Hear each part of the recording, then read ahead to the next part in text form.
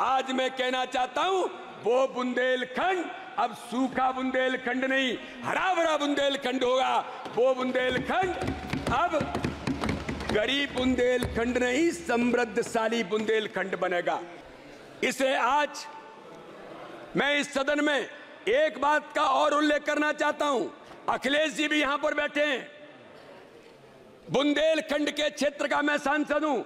माननीय अध्यक्ष महोदय हमारे आज के नेता प्रतिपक्ष 2008 में टीकमगढ़ ज़िले के एक टिपरिया गाँव की बहन भंजनबाई के घर गए थे।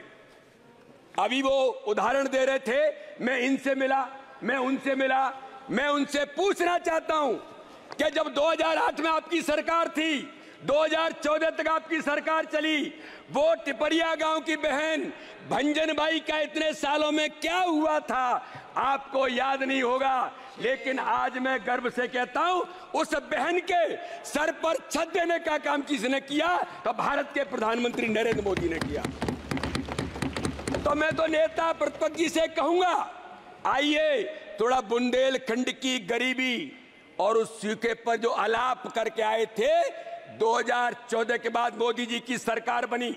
मोदी जी की सरकार ने बुंदेलखंड के लिए जो देने का काम किया है, मैं इस बजट के अंदर माननीय प्रधानमंत्री जी का, माननीय वित्त मंत्री का अभिनंदन करता हूँ। अटल जी के वो सपना पूरे का, पूरा करने का काम माननीय प्रधानमंत्री ने किया है।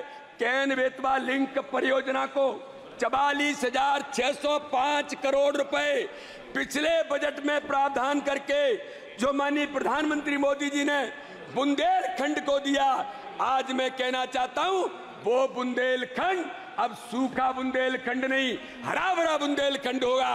वो बुंदेलखंड, अब गरीब बुंदेलखंड नहीं, समृद्धशाली बुंदेलखंड बनेगा।